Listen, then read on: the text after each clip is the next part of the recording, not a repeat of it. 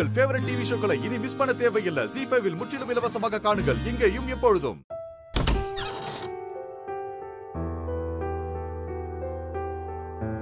அன்பு. அம்மா. அம்மா அன்பு. வாமா உட்காருமா அம்மா என்னம்மா? எப்படி இருக்க? உடம்புக்கு சரியில்லைன்னு சொன்னாங்களே இப்ப பரவாயில்லையா? பரவாயில்லம்மா. எனக்கு ஒன்றும் இல்லை. உனக்கு என்ன ஆச்சோ ஏதாச்சோன்னு ரொம்ப பயந்து போயிட்டேம்மா. நீ வருவேன்னு தான் தூங்காம முழிச்சிட்டு இருந்தேன் இப்பதாம்மா மனசுக்கு நிம்மதியா இருக்கு. என்னம்மா அது? இன்னும் ரெண்டு மணி நேரம் தான் இருக்கு முகூர்த்தத்துக்கு. நீ போய் குளிச்சு ரெடியாக வேண்டாமா? போ குளிச்சுட்டு ரெடியாக போ. அம்மா நான் கொஞ்ச நேரம் மடியில படுத்து தூங்கட்டுமா? ஒரு பத்து நிமிஷமா? மனசுக்கு ரொம்ப பாரமா இருக்கு. சரி படுத்துக்கோ வா ஆ.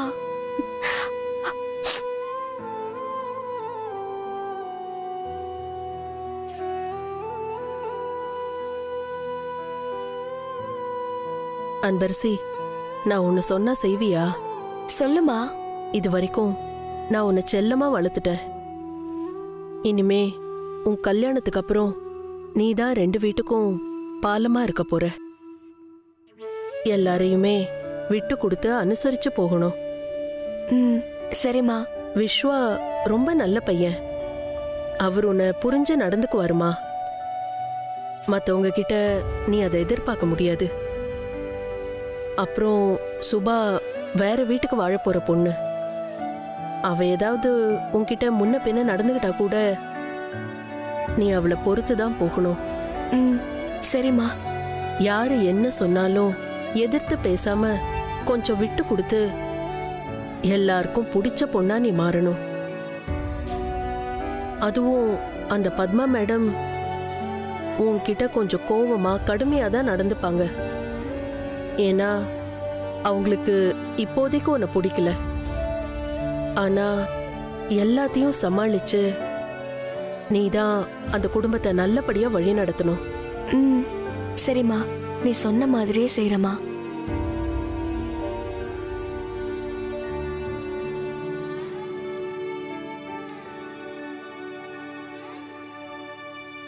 சரிம்மா. நேரம் ஆயிட்டு இருக்கு நீ போய் சீக்கிரம் ரெடி ஆகுமா? சரிம்மா. அன்பு சீக்கிரமா டைம் ஆகுது. அன்பு அன்பு.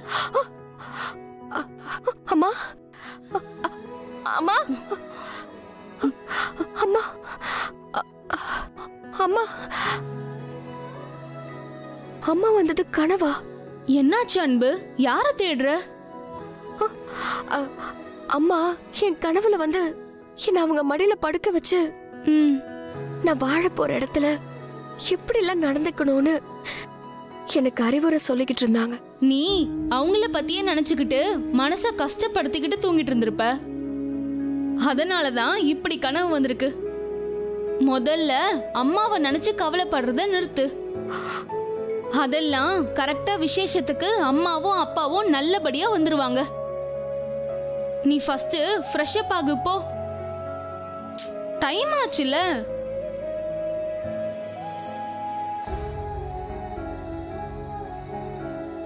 இந்நேரத்துக்கு அம்மா வந்திருந்தாலும் வந்திருப்பாங்க. எங்கேயாச்சும் ரெஸ்ட் எடுத்துட்டு இருப்பாங்க நான் மண்டபத்துக்கு போய் பார்த்துட்டு வந்துடுறேன். ஏன் அன்பு சொன்னா கேளு அன்பு. பாட்டி என்னாச்சு பாட்டி? அம்மாவுக்கு நல்லா ஆயிடுச்சா மண்டபத்துக்கு வந்துட்டாங்களா? இல்லைம்மா. இன்னும் வரல. ரெண்டு மணிக்கு நான் ஃபோன் பண்ணி விசாரிச்சேன். அப்பதான் சந்திரா சொன்னா அவ நல்லா அசந்து தூங்கிட்டு இருக்காம்மா எழுந்ததும் கூட்டிட்டு வரேன்னு சொன்னான் அதெல்லாம் அவங்க சீக்கிரமா வந்து சேர்ந்துருவாங்கம்மா. நீ முதல்ல குளிச்சுட்டு ரெடி ஆகு. நாம கொஞ்சம் லேட் பண்ணாலும் அத பத்மா குத்தமா சொல்லி புலம்ப ஆரம்பிச்சிடுவா. ம் சரிங்க பாட்டி. நான் ரெடி ஆயிடுறேன். ம். மஞ்சு நீ என் கூட வா. நான் உன்கிட்ட பேசணும். சரிங்க மேடம். நீ ரெடி ஆயிடு.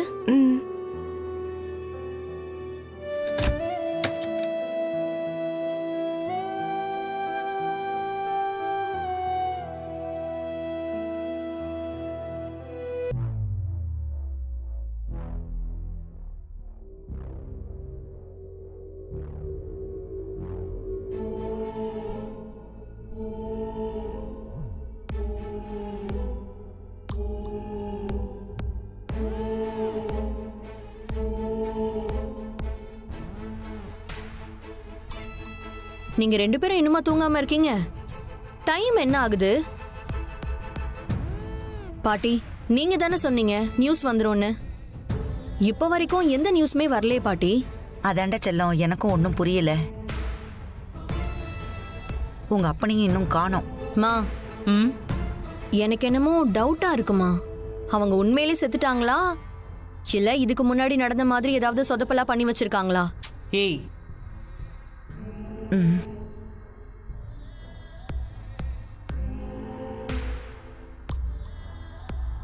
ஏமா ஒருவேளை அவர் நடந்த விஷயம் எல்லாத்தையும் மறைச்சிட்டு இந்த கல்யாணத்தை முடிக்கலாம்னு நினைக்கிறாரோ? மா அப்படி நடந்ததுன்னு வச்சுக்கோ அவ்வளவுதான் பாத்துக்கோ.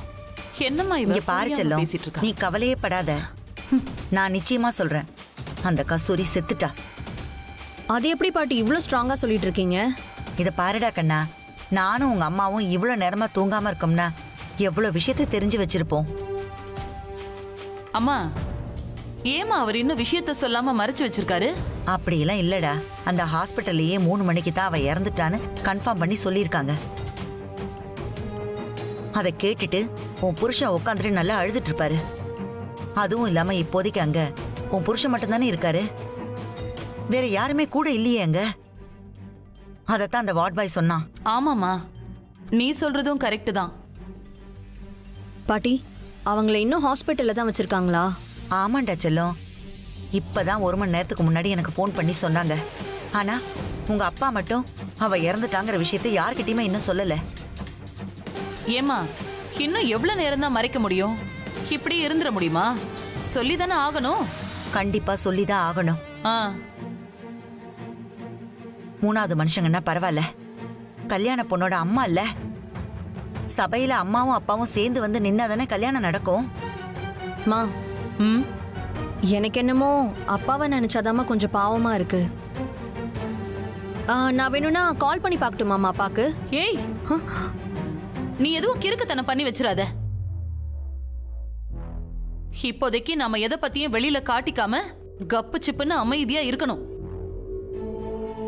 ஏன்னா நம்ம பண்ணிருக்கிறது சாதாரணமான விஷயம் இல்ல. கொலை. அதுவும் ஒண்ணு இல்ல. ரெண்டு கொலை பண்ணிருக்கோம். மா நான் அதுக்காக சொல்லலம்மா. சும்மா அப்பாக்கு அப்படியே கேஷுவலா கால் பண்ணி பேசலான்னு. அப்படியே போட்டுன்னு வச்சுக்கோ. ஏண்டி? என்னைக்கும் இல்லாம திடீர்னு அக்கறையா நீ ஃபோன் பண்ணனா அவர் என்ன நினைப்பாரு? நம்ம மேல சந்தேகம் வந்துராதா? இத்தனை வருஷத்துல நீ எத்தனை வாட்டி இந்த மாதிரி அவருக்கு ஃபோன் பண்ணி நீ பேசியிருப்ப? அதை யோசிக்க மாட்டார் அவரு? அவர் இருக்காரா செத்தாரான்னு கூட நீ கண்டுக்க மாட்ட. நீ இப்ப அவருக்கு ஃபோன் பண்ணி கேஷுவலா பேசினா முடிஞ்சது நம்ம கதை. ஜி ஃபைவ் ஆப்பை டவுன்லோட் செய்து அனைத்து எபிசோடுகளையும் இலவசமாக பாருங்க.